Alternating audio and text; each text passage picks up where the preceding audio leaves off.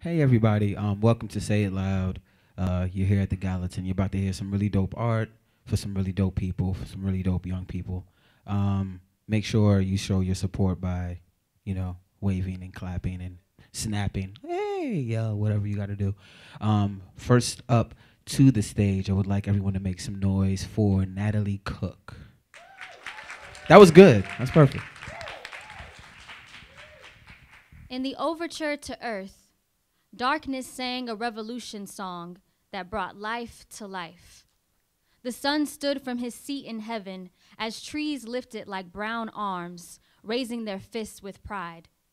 Some men began to transpose the revolution song.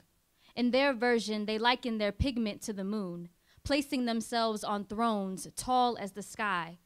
They segregated day and night, splitting life into two parts black or white, light or darkness. The men called their skin fair, deeming my body an injustice. Truth was converted into white man's theory. Darkness raised the sun like he was her own, until night became the colored's only section. The men roasted a crucifix in the sun's fire and waited till she fell asleep to burn her resting place.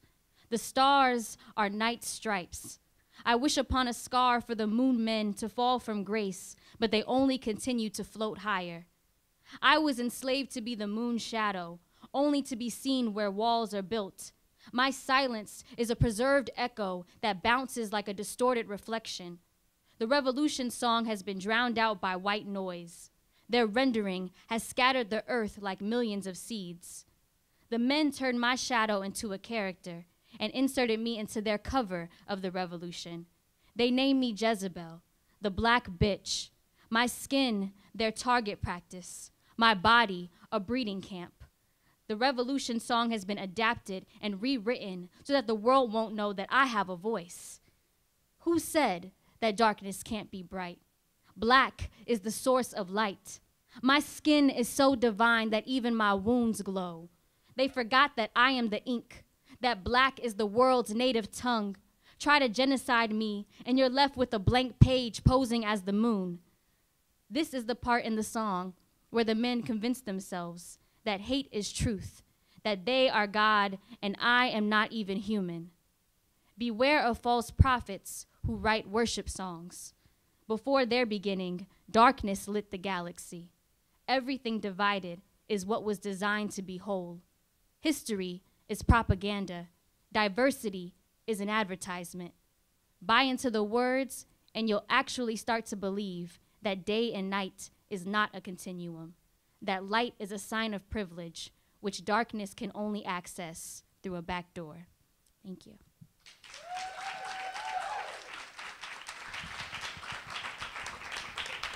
That's powerful.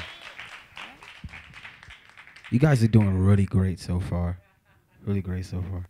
Um, next, coming up to the stage, we have the lovely Hannah D. Williams. So please give it up for Hannah D. Williams. Yeah, I could do a little. Okay, come on. Y'all was on the roll like five seconds ago. Thank you. There we go. Hi, I'm Hannah Daniel Williams, and I'm reading a piece that um, I'm really happy to say is um, published in a literary magazine. Dinner with Billy. He could barely grip the doorknob as he staggered into the house. It took a few minutes for his eyes to adjust to the dark. The smell of Jack Daniels escaped from his mouth in between hiccups, like puffs of cigarette smoke. His mind, mired in his own darkness, tried to recall what his friend had laid out as the plan earlier that day. Go down the hall, check the pantry, behind the canned foods. Money should be there. You sure about this? Damn sure, money's there. The narrow hallway opened up into a larger room, the kitchen.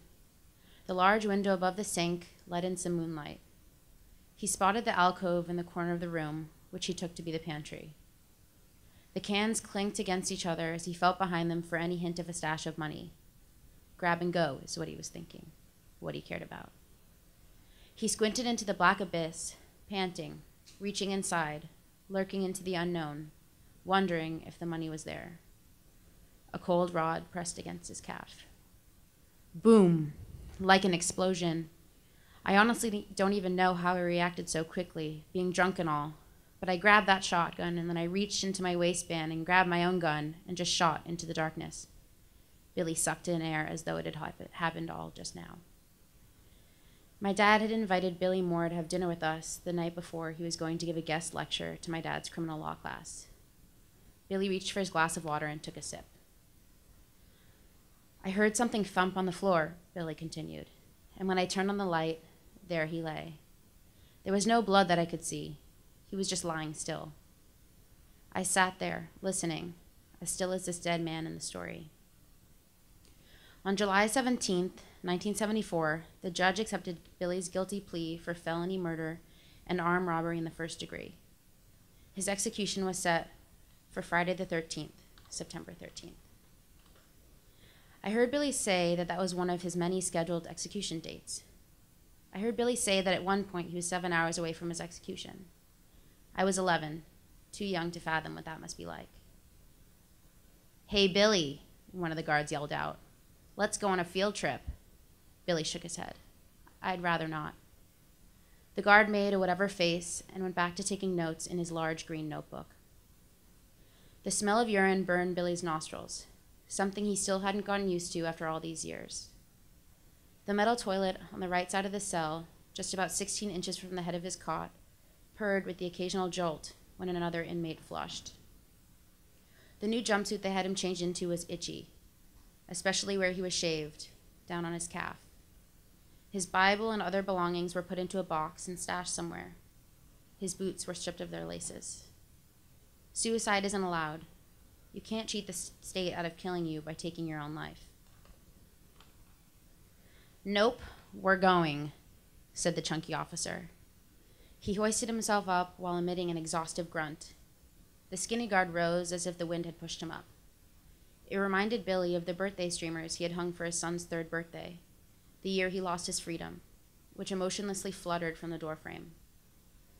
Against protocol, they led Billy down the hall to a part of the prison he had never seen before. The door banged behind them as they entered a blinding white room with a long horizontal window on the far wall. Something cloaked in a discolored sheet stood in the center, and one of the officers let go of Billy's arm to approach it. Take a good look, he said, as he pulled the sheet away like they do on game shows, revealing the chair that Billy would be sitting in at the moment of his death. And it was at that point that I caved, Billy said. He rubbed his cheeks and shook his head. My mom told me to eat more of my dinner. Billy smiled. I think he knew it was hard to eat a meal and listen to this kind of thing. There was this moment at that dinner that sticks with me still, all these years later. I remember the way he bowed his head when he remarked that he was just a black man caught up in the criminal justice system. It's the word just that is significant here. His use of that one word, just, spoke to how he saw himself that he didn't deserve a fair trial, that he wasn't worthy of an effective lawyer like rich white folks get, that he was destined for the chair when he entered the house and when the gun went boom. What Billy was really talking about is what it's like to be black in America. The death penalty is not just a form of punishment, this so called machinery of death, which hides behind the rhetoric of justice and law and order, is a deceptive and malicious construct which carries its own semiotic power. The insidious nature of how it defines blackness in the United States brings to light the dark underbelly of America's ongoing racialized history. This process of identity formation lies at the very core of the current Black Lives Matter movement. When Billy said that he was just a black man what he was really saying was that there was no point in getting on the witness stand and explaining that the killing was an accident. To be just a black man, Billy was saying, was to understand him as unworthy of being heard and powerless over his fate. That, to me, is the most significant meaning behind capital punishment. It's for you, the potbelly guard said while waving the envelope. Billy heard it scratch the ground as it skidded under the metal bars which separated him from his execution. He looked at it for a bit, not out of contemplation or wonder, but at first out of curiosity, and then with melancholy. He figured this would be the last time he would be in contact with the outside world, perhaps the last thing he would ever read. He bent over to pick up the white envelope. He stared at it. You gonna open it? asked the guard. Ain't much time left. Billy said nothing. He was entranced by the jarring whiteness of the envelope, this whiteness in this dark place. He stood ramrod stiff, tall, motionless. This envelope was his last glimpse of light before infinite consuming darkness. All that Bible reading, and still the intuition hits hard that there is nothing awaiting us on the other side, because there is no other side. There's only this, the moment we are in. It was enough to make his knees buckle. Don't keep me hanging, said the guard with a stupid grin. He winked from the wittiness of his pun. Getting mail on death watch. That's a new one. Billy sat down on the edge of the bed and held the envelope gently, with care, like how he used to hold his infant son, and gazed down at his little eyelids, which were closed as he slept. He read the words slowly. My son is not my son, he whispered, as if this was his last breath escaping his mouth. At this moment, in a sudden flash, he felt himself already dead. The shudder of the toilet awakened him from his dreamlike stupor, and, and sound began to faintly pour back into his ears. He rubbed his itchy calf. The smoothness of his hairless skin soothed him as his mind returned to the present. He could hear the hushed exchange between the two guards and the muffled clanging of angry cell doors opening and closing. He focused on the metronomic tempos of the dripping faucet and the ticking clock. Then he rose up and walked over to the bars. The paper rustled in the tight grip of his shaking hand. He looked down at the paper one last time, its wrinkled whiteness again pulling him into a trance. And then his whole world sank into the womb like darkness. Thank you. Yes, give it up one more time. One more time. Hannah D. Williams. You all can have a seat. Look at Monique doing the Vanna White move with the, the Vanna White arm. Everyone, please find your seat. Find your seat, please. Find your seat. We'll wait for everybody to get seated before we introduce the next act. How's everybody feeling?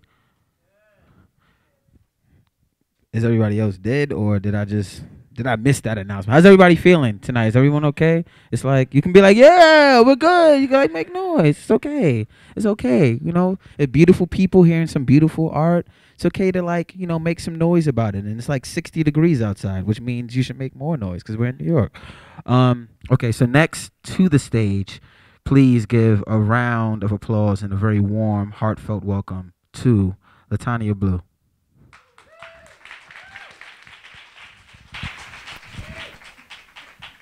Hi, everyone. Thank you all for coming out tonight.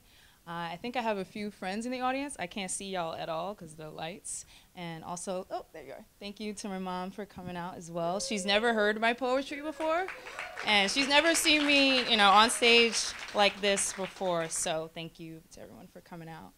Um, a lot of what I write, or actually most of it, has to do with mental health and my journey to understanding more about myself in that way. So the poem that I'm going to read tonight is called Nine. And it's basically the sights and the sounds and the smells and all of that of growing up in the Bronx, New York, which is where I'm from. When I was nine, walks to the park were caked in song. Horns blew for a language unlike mine, trumpets fastening the belts on a hot summer mood. Stereo cages rang calling attention to a ring of salt and pepper men. Puerto Rican poppies, I think they called it. They'd find a spot central to the park's amusement, losing their throats to a game of checkers and bets placed over dominoes. I trudged to the asphalt, dirt on my shoes, breathing in a hot park filled with smoke and broken Spanish. A precocious kid aware of my difference, I sat alone at the swing sets, too shy for the sprinklers, too oddly dressed. Cocoa, mango, cherry, the icy man would sing, and the red swings kicked my innocence with tangled chains. My defeats would collide in deafening tune, while I swung lower than the other kids, rich with youth's absence and the wind refused to push me with them.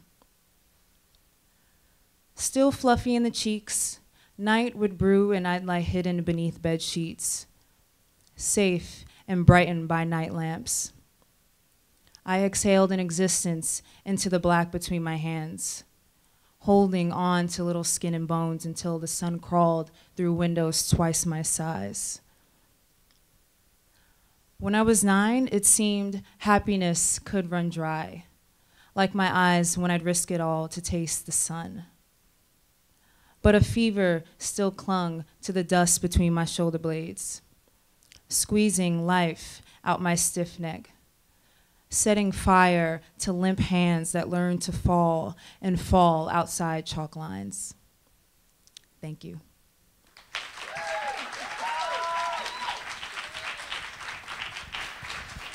Give it up one more time for Latiana. Thank you. Right, right.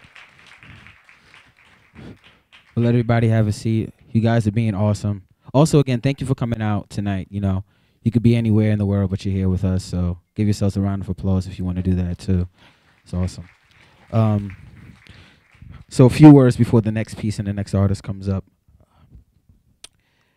A lot has occurred from 1960 to 2017, much of which makes our historical evolution feel like decades on repeat. Although time seemingly flies by, it is essential to recognize the work that has been done socially and culturally to shape our future and also further their progress. Hannah's series questions the preservation of Afro American history and culture, as well as the relationship between sound and time. Our senses can create or enhance imagery and or memories. The power of preservation must be recognized. We have the right to document our stories and the agency to imagine what our elders had the power to see. Without further ado, I introduce to you Hannah Morris.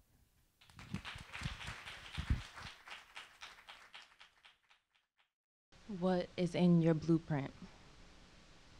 This series is a commemoration of you and I, a reminder of the intricacies of our history, stripped, exploited, brutally oppressed, inherent trauma.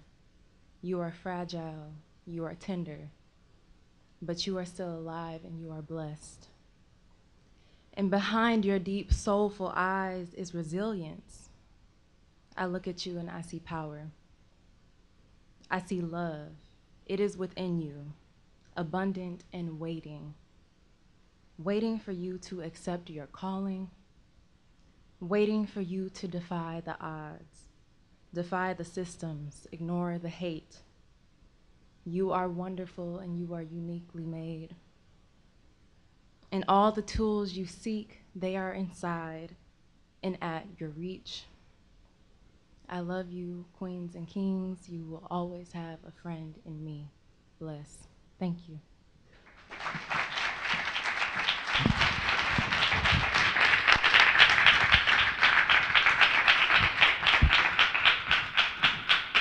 Give it up one more time for Hannah Morris, please.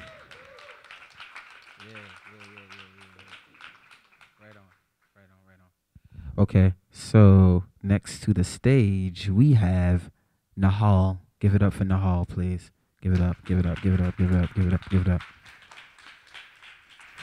Hi, uh, my name is Nahal. A little over a year ago, I was working on a story for Brooklyn Magazine about a group of men called the Bearded Dapper Gents who are working to increase positive representation of black men in America.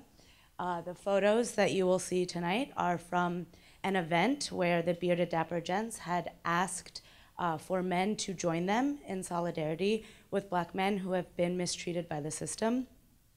The photos are meant to pay homage to Ernest Withers and the men of the 1968 uh, Memphis sanitation strikes.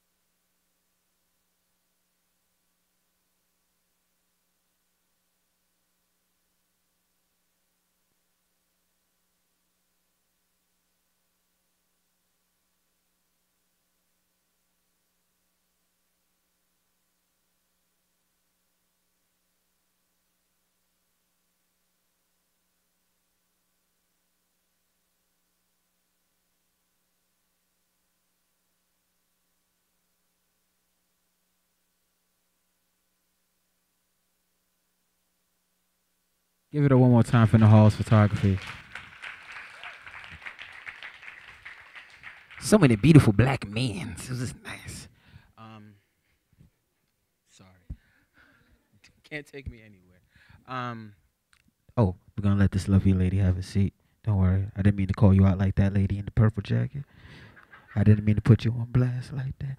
Uh, she's so nice. I love when people. Excuse me. Excuse me. I love it.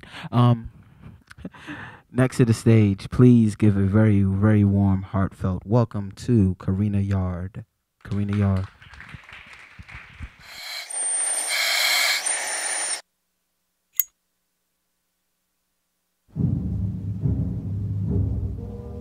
Baby, it's cool with me that you like to lie.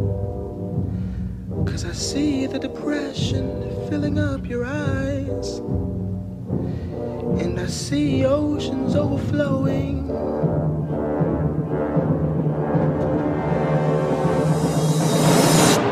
Babe, baby, it's cool with me that you want to die. And I'm not gonna stop you if you try. Hole in my belly has started growing.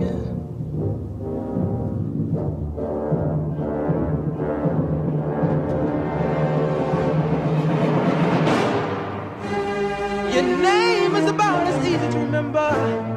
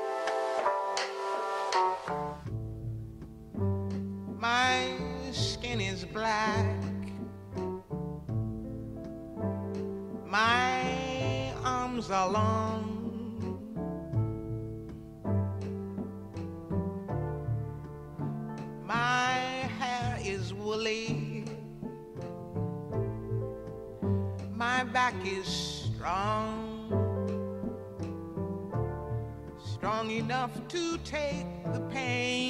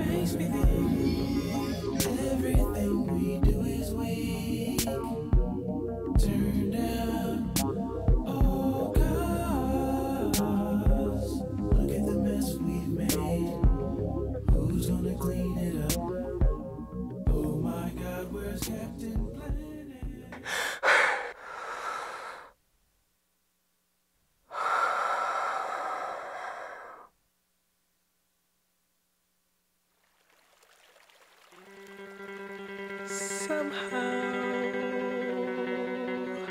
though I am unkind, grace flirts with me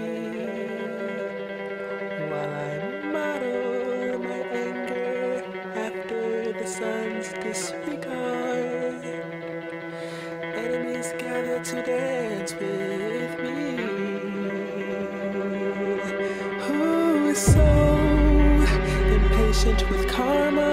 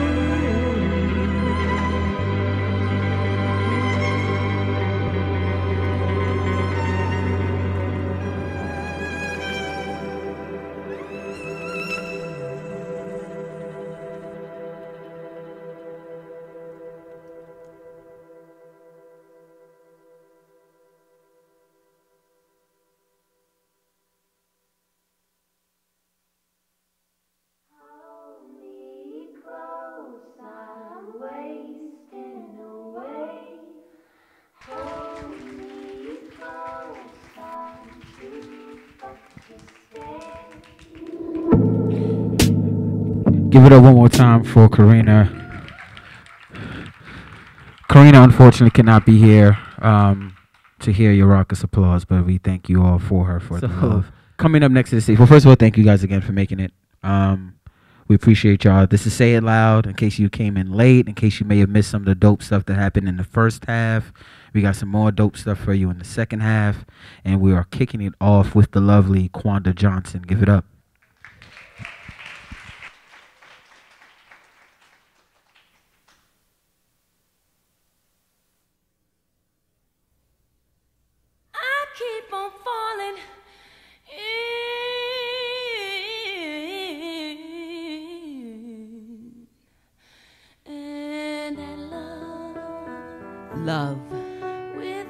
What is it to love America? To reach for the sacred ordinary, a home, a family, work, a faith, to seek out that nebulous, elusive, proverbial American dream. And trust America, love America. Enough, more than enough, to strive for it, push for it, grab hold of it. A dream? I see a man hanging from an old pine wood tree on the edge of the fairgrounds, close to the baseball diamond. A festive area. The man riddled, devoured, swinging in the mid autumn breeze. I don't know if death came by the hangman's noose, or if death came by bullet, or if death came from the pummeling his body took from the tens of men and women and children, taking turns beating, stoning, kicking, using their bodies to destroy his body. Who knows how death came? What I do know, death came on a Saturday. Saturday, October 21st, 1916, Abbeville County, South Carolina. By 3:30 p.m., my three times great paternal uncle Anthony Crawford has had his body cut down from that old pine, his corpse tossed onto the front porch of our patriarchal home. Legend has it, he was the wealthiest man in Abbeville County, black or white. Local estimates had his worth upwards $25,000, home worth 20,000. They tolerated this for years. Owner of the most arable land in the county, estimates went from 427 to 600 acres. They tolerated this for years. White men having to buy a nigger's crops and seed, the son and grandson of slaves, deeded a modest plot upon his father's death, using his land to buy land 1883, 1888, 1899, 1903, using his wealth to create wealth. They tolerated this for too many years, white men having to go to him to borrow money and having to pay him back. He wouldn't step off the sidewalk to let them pass, wouldn't step in the street to let their women pass. He tipped his hat, back, ramrod straight, courteous, but he looked them in the eye when he spoke to them or when he was conducting business. Fourteen entitled nigger children uppity fancy nigger wife. They had put up with him and his uh black man reaching past the sacred ordinary. Well, you had to give it to him. The man had gall. Barksdale claimed the man wouldn't sell him any cottonseed. Said he sassed him. The day a white man hits me is the day I die. When the white man argued, he stood his ground. When the white man cursed him, he cursed back. When a white man hit him, he fought back. The day a white man hits me is the day I die. He knew, had made up his mind. He was going to die that day. They came by twos, by fives, by tens. Some say 400 strong. He fought them all. Was arrested by Officer Botts, paid $15 bail to be released. If they gonna kill me, I'm gonna die fighting. They're not gonna drag me from the jail like I'm some rotten meat. While he took refuge in a cotton gin, a Mr. M.B. Cann rushed him and got his skull fractured with a four pound hammer for his trouble. The crowd, frothing and foaming, poured into the gin. The attack was ferocious, relentless. Someone threw a rock that knocked him out. Another got the courage to stab him in the back while he was lying face down. They left him for dead in the gin. Botts took him back to the jailhouse for his own protection. They came for him. The state said they had subdued the jailer at gunpoint, put a noose about my uncle's neck, and like he was a slab of rotten meat, dragged him through the black section of Abbeville. to the fairgrounds and that ancient pine. Maybe death came from the beating. Maybe he died when they hung him. By some accounts, they mutilated his body before they shot more than 200 rounds. I wonder why he died alone. Where were the other black bodies? His nine sons, his five daughters, his woman. The day a white man hits me, he died alone. Had his progeny been with him, this I know for certain, I would not be here now. Scattered, east, west, Evanston, Illinois, Brooklyn, New York, Philadelphia, Pennsylvania, all along the eastern seaboard, land lost, wealth lost, the American dream lost, the Depression Already migrants, already refugees, must build again another start. We, the Crawfords, the Johnsons, the Dials, the Smiths, the Evans, the Neelys, the Hazards, start again another, another again, start again another, searching for the sacred ordinary. And the old landmark, that silent witness drinking blood. Does it still stand? That ancient pine? Was its thirst satisfied? There are not enough tears to water this America. Oh, but the blood. If death is in the blood, then life is in the blood. Love is in the blood. I love my people. And as a consequence, I love my country. It cost us great to be called American. What does it mean to love America?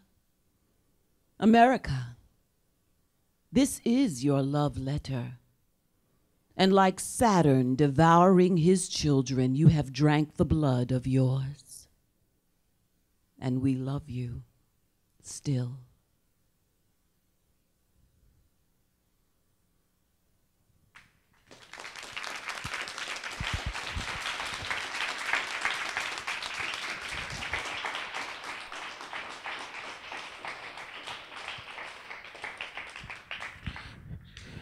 Give it up one more time for Quanda Johnson. All right, so coming up next to the stage, give it up, please, please give it up for Donna Gary. Give it up.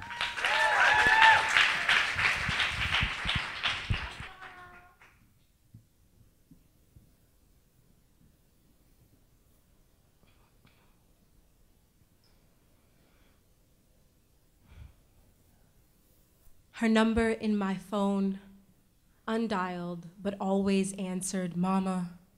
The word in my mouth, wisdom tooth I can't pull, aching to say hello, to be taken out for a long call. When the phone rings, my mother's face, grapeseed oil shine, eggplant snoozing in and out of its October harvest, appears before me. Her cheeks, always the first to materialize. Taught from the exercise of her own rocking laughter, round, plump, reservoir of teardrops, crystals deposited like pennies in a fountain, the only place I can get quality salt. Makes this moment too irresistible to voicemail. I pick up my naked ache, the forgiving, crestfallen daughter type, always settling on the phone into her voice, willing to take any piece of her I can get, like the hungry forgotten I am plunging into her. How you been, baby? I'm sorry.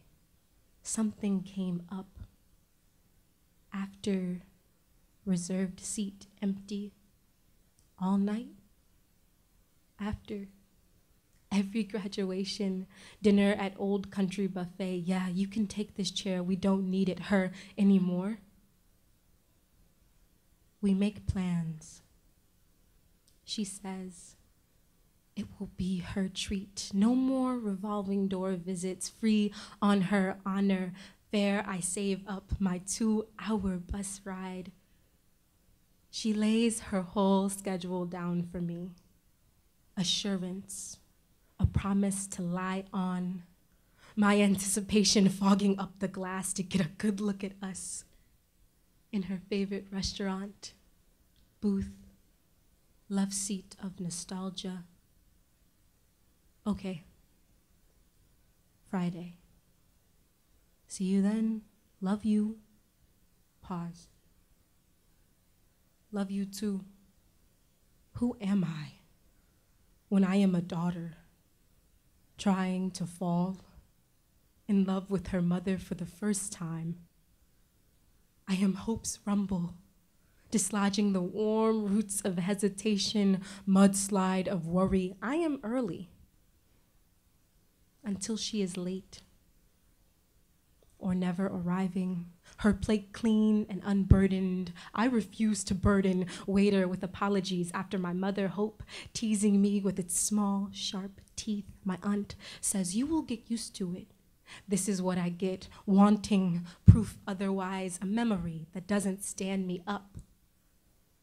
I dine anyway. The aftertaste of her voice, my treat. Love you, gone sour an almost daughter, rotting, post mudslide, annexing mama, done, saving the word, her, pulling my wisdom teeth out with no hands. This is me trying to unhome disappointment. Now a dark spot on my tongue. I let go of my uncle saying, You look just like her in mirrors. I find the hollow of her face, an echo of a mother in my hand when I cradle my own cheeks, steaming crimson in salt water at the bus stop, a reservoir, the shifty screen of which I watch, the only moment I can confidently say we shared. My birth cascading down, down.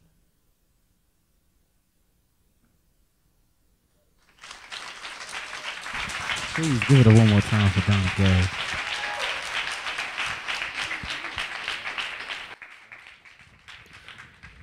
So, please keep that same same enthusiasm and energy as we introduce to the stage Natalie Doggett. Give it up, please, for Natalie Doggett.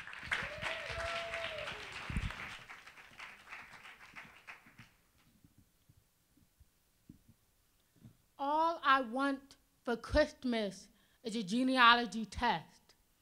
That Christmas, my parents told me I shouldn't expect much else under the tree. The vial for my spit came with a hundred dollar fee, and the reparations were owed were still underway, as they still are. I said I didn't mind. I needed more than any other toy closure, belonging, a soothing for my seventh grade family tree project on that Dollar Tree poster paper. My lineage materialized itself before me, circling itself from South Carolina to Virginia to New Jersey and back again, unable to find its way out to wherever it came from. My flesh and bone of this America, there is nothing more for it to go back to. But my blood is of the motherland that my flesh and bone have never been. All I want for Christmas is to be taken someplace beyond the southern plantation where my great great granddaddy was told by master he was a good boy. He turned those words over and over again until his tongue and teeth tired of them, taken to the grave with him underneath his land. He never mentioned anything about no other motherland. My soul had dug a home of this land that they'll say under their breath ain't even mine at all. It was never mine to begin with.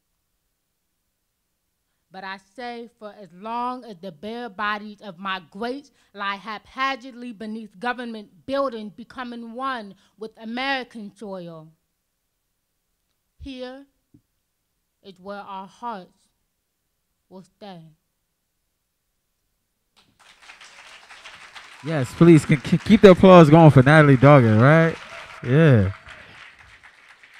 Right. You guys are good. You guys are good. You guys are good. Are we ready for more stuff? That's right on, right on, right on. Are you guys leaving? I'm calling y'all out too. Okay, y'all got rehearsal. Kill it, kill it. Do your thing. Do your thing. Do it ain't nothing but a chicken wing. Um, I'm way too old to be doing stuff like that. so sad. Coming up next to the stage, please give some love, show some love to the brother, Allah Joseph.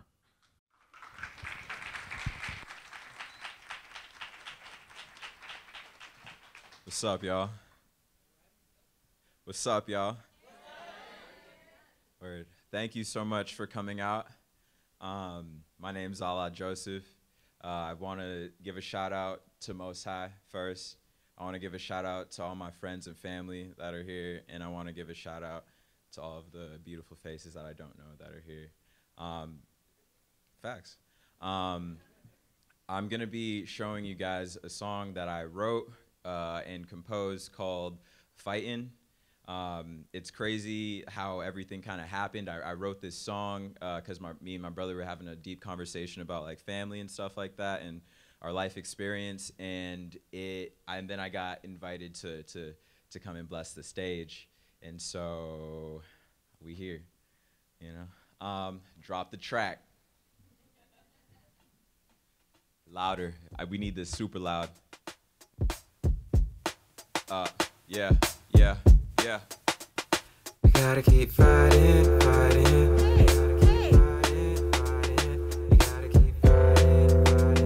I gotta keep fighting, fighting. We gotta keep fighting, fighting.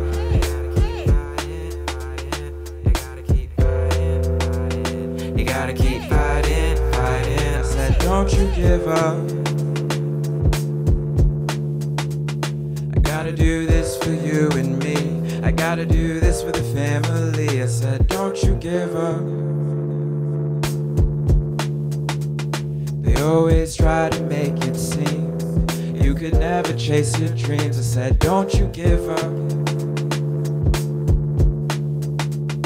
This is your motivation song. Just know you're not alone. I said, don't you give up.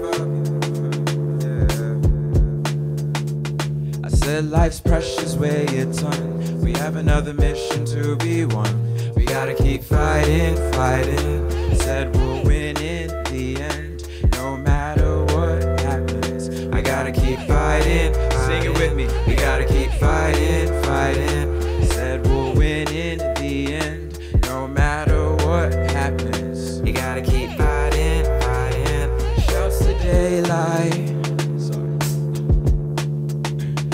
Another day, you've been blessed. Use your day right, yeah. And give it your best. Statistics say I should be in prison or dead. Seize the day like, yeah. You have no time to pretend. We gotta keep fighting, fighting. Put a fist in the air for me. Said no matter what happens, yeah, we gotta keep fighting, fighting. We gotta keep fighting, fighting. Said we'll win in the end, no matter what happens. You gotta keep fighting, fighting. Need help right now.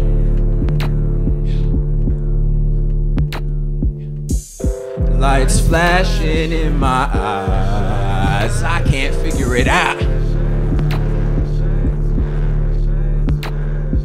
My mother's still working to survive. I'm so stressed out. I lost the best parts of my life. Need help right now.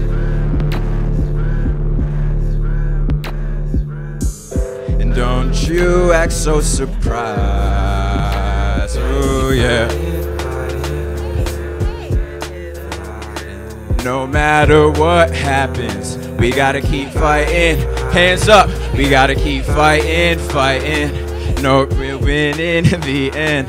No matter what happens, we gotta keep fighting, fighting. We gotta keep fighting, fighting. Said we'll win in the end.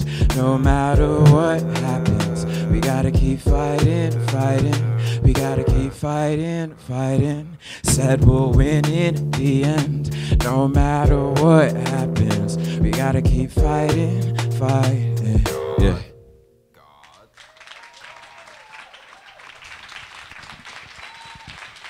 Thank you. Give it up one more time for Allah Joseph. Keep on fighting. Keep on fighting. Please maintain that energy as we bring to the stage Shadenia Sivad. Give it up, please.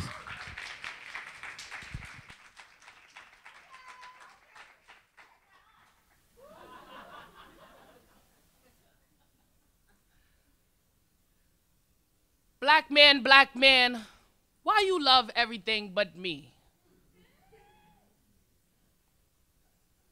Anything lighter you praise freely, but why you don't drink from my coffee? You know, being that we grew from the same tree, why have I been second guessing myself lately?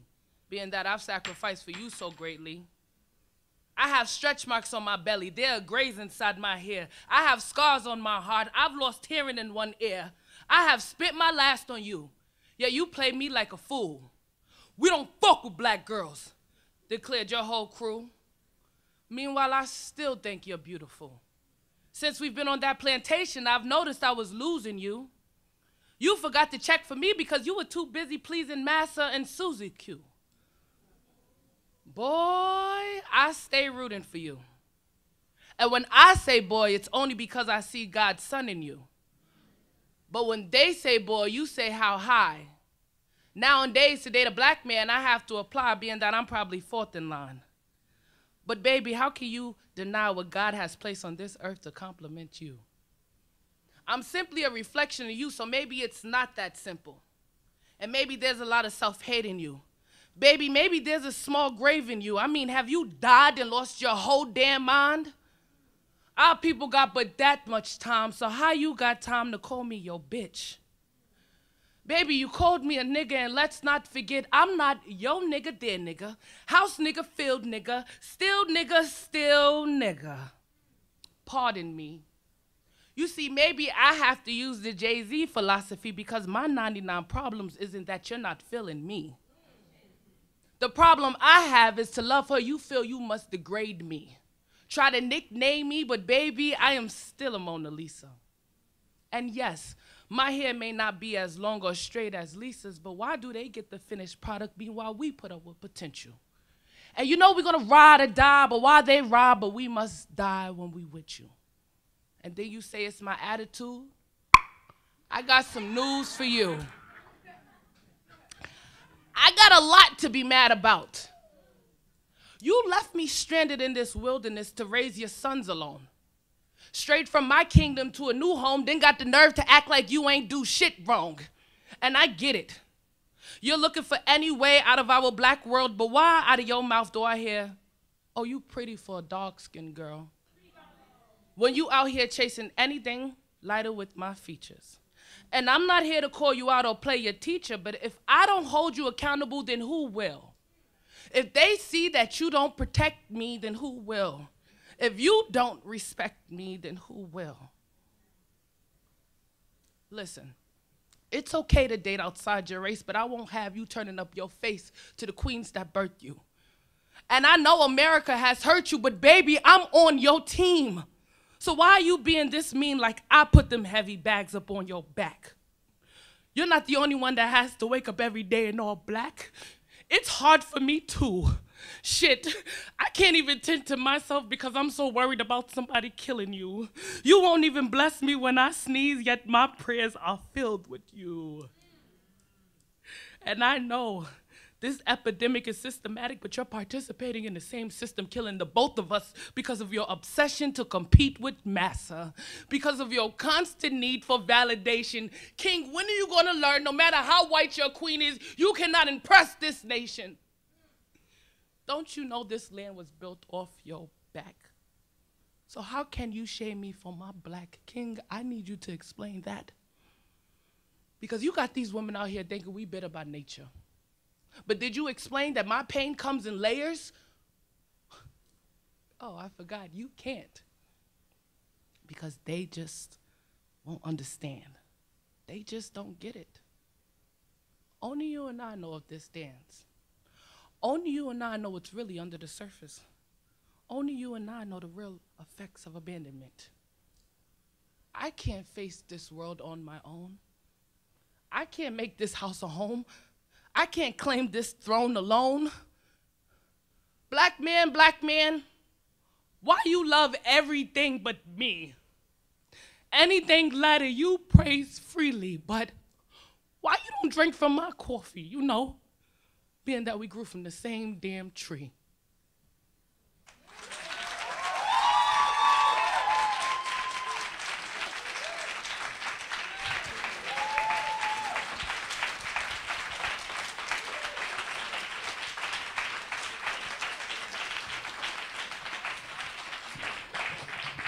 Please, please give it up for Shadenia Sivad, please.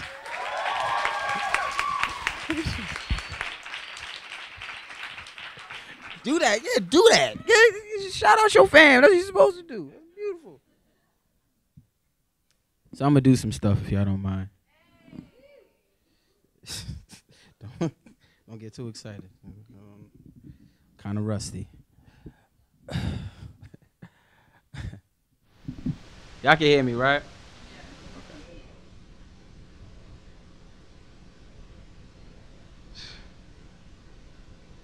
I'd rather die than let go of all of my dreams.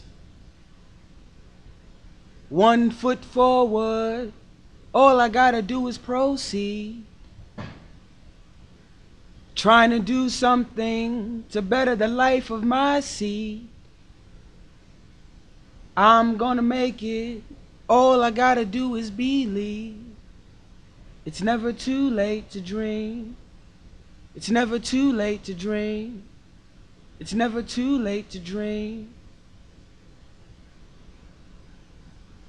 There's a difference between being broke and being uncomfortable and living good and eating well just like a Huxtable. Sticks, stones break bones, but words hurt. So I'm Jackie Joyner Kersee jumping over a verse. Hurdle over bars gets worse. Disperse the bubble you sit in. Crossover J get more righteous than Christians. Old soul, still see spirits stuck in a sit in. I don't need a stool, just give me a star to sit in.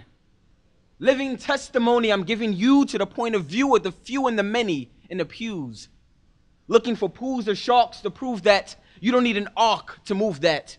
Choose to chew the fat of the lamb. Land on a plan to stand on, or at least build something your children can understand. I can't do can't because I remember my father's hands dried out and calloused because he was picking up cans. Me and my mama on Fordham and dollar vans. Well, y'all were busy watching the throne. Aunt Peggy called and told me that my dad's in a nursing home. So let's compare my problems to yours. Oh, or here's blah, blah, blah, flapping the jaws. No backing, we rapping for applause. Crossing our toes, these flows are open doors. In a session, focus, listen for punches. I used to get the ticket in line for the school lunches. We wasn't poor, but we had enough. Mama cried when she saw ski in them handcuffs.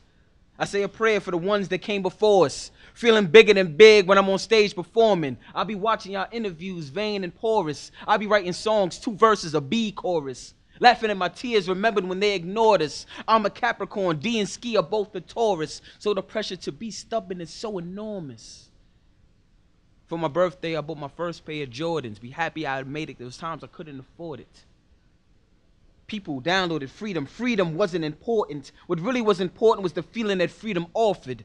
Lay me down to sleep, each bar covered in corpses. Pen has the magic we found in Malcolm's coffin. I could have been in juvie, stuck in Spofford. It's what separates rich visionaries from paupers.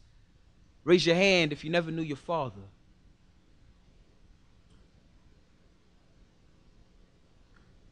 Living life like Linda T's only son, only star, only moon. Yeah, the only one who was predestined to rise. Saw my future like waves dipping in tides. A Lot of fake friends, fuck 'em, so let 'em dive. Then I met Tiff, found keys, told me to drive. Me and I, two cells, how I decide. Fried rice, fried scallops, and fries on the side. Mama, mama bleeding, bleeding when I arrive. Doctors looked at her stomach, told her think I should die. God told them chill, nah, I think you fly. So I made a wish up to the sky, closed my eyes, said my prayers, and then I tried. You can do it too, no matter hows or the wise. We're talking about Egyptians building pyramid pies. We're talking about eclipsing, giving eyes to the blind. Life, one big roller to die. Either get to living or just roll over die.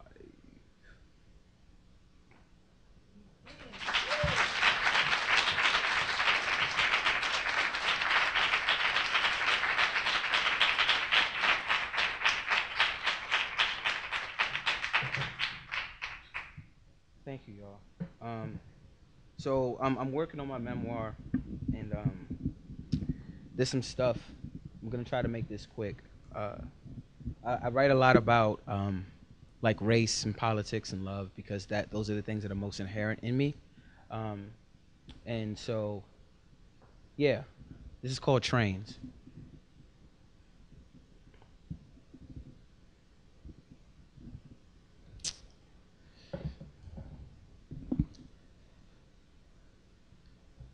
Part of me thinks I will never fall in love again because I keep falling in love with imaginary people that do not exist. I have fallen in love with women on the train, men who hold doors for the elderly, big haired black women feeding partners grapes and sunflower seeds on picnic blankets. Tourists who spend too much of their converted traveler's check dollars on overpriced street cart halal food with tarot card readers, with whole food grocery shoppers, people who give too much change to strangers. Women who lick their fingers after eating barbecue ribs, men who pinroll pant legs to show off ankles, or impressive socks with origami depictions of Rick and Morty sewn into them. Women who clap in between words, who let the spittle fly and linger and nag, lifelike in the air, like miniature semicolons run amok. Men who touch their partner's thigh when they are going to say something of the utmost importance, or when they are about to lie or say something that will ensure it is the last time they will ever be able to share something as intimate as a hand to distressed denim or Lululemon stretch material on top of their partner's body ever again. I am falling in love with the ones with the misplaced septums and the unlearned crystals, the ones with the loose locks, the ones who snatch purses, the ones that don't text back, the ones you are too light for, the ones you are too dark for, the ones you are too soft for, the ones that only want a real nigga, the ones with daddy issues, the ones with broken homes as tattoos, the ones that name their children after dead grandfathers, after the names of liquor stores, after the names of freed slaves, wear their necklines like charm bracelets, who wear their scars like ornaments, like scarves, like prison sentences, like crocheted socks, like machete hands, like washed feet soiled from too much prayer. Before the invention of time machines and Amazon echoes, before espresso pumps, before Caribbean mothers yelling the answers out loud to family feud questions to no one but themselves. and perhaps the 12 year old ghost that still plays kickball in the foyer between the kitchen, before crumpled seventh grade loose leaf love letter paper, before eggnog and gentrified Popeyes locations, before Jesus and Showtime, kids flipping hats for quarters, before the throwing of stones, before the pulling off of hijabs, before shoes thrown at presidents, before the birthers, before the burning of a CVS, before Freddie Gray, before Chicago and Fred Hampton, before bed bugs and tiki torches, before snakes and apples, they were lovers. The lovers came, still come, in short form poems and pipe bombs. Lucid dream states and translucent passenger side views of Kang affiliations and flags being flown at low decibels, where you can hear the heat of the sound, the flipping of a finger against a bandana mixed against the wind. There is an unfiltered, undocumented, ban the wall kind of thing love can do. A lover does, will do, will invite all of the dopamine, will make you walk desert and coals and go further than half to meet a non existent middle, a non existent that you will wish to be a parent that you will wish to be. So please, meet lovers head on, head first. The ones skilled with swallowing teeth into words, biting Basquiat strokes with the fingers or dick, the ones who brandish guns and fuck yous, the salty girls with ring pops, the dildos, middle finger and Polaroid abusers, the men with the gem stars, functioning Pyrex superstars, complex in the way they lift tricep through streetlights, catcall precision experts. I may have finger fucked, slept with them all in my head, the ones with heart pendants in the shapes of vaginas around their necks, introverts dangling their sleeves over their thumbs to stop the vomit, to keep the tremors in the lungs from reaching the night. So much so, you turn lovers into stories, their stories into poems, poems into bones, bones into brick and mortar store, into co-ops my mama can't afford, and there is no rent is too damn high, man, to save us from the collision of stocks and bitcoins and the falling that happens when she feels further than the climax. She keeps having without you. The high your daddy's ex-junkie girlfriend kept chasing It's all clearer now.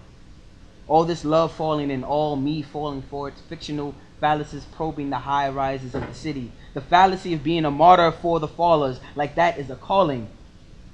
It's a breakfast in bed, or maybe a bed and breakfast. There is a bed and breakfast in Brooklyn I have been saving for eight years and have yet to use. And part of me wonders if that someone will be on the train, in the street, at a church, in a mosque, a homeless shelter, besides a stripper pole, in a morgue, by a car crash, wondering if she will be her.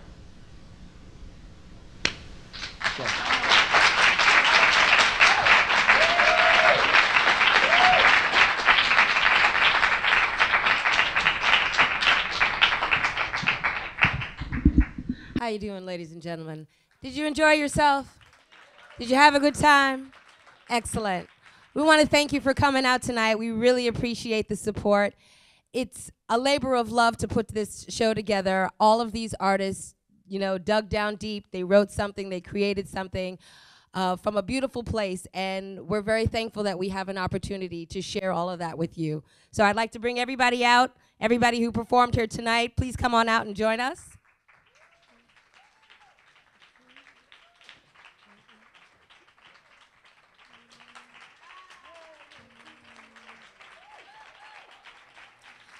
Ladies and gentlemen, I give to you the cast of this year's Say It Loud. Please take a bow. Once again, thank you for coming out and supporting Gallatin's Black History Month series. No matter what you do or where you go, always remember to take some time and say it loud. Thank you. Please join us for a brief reception.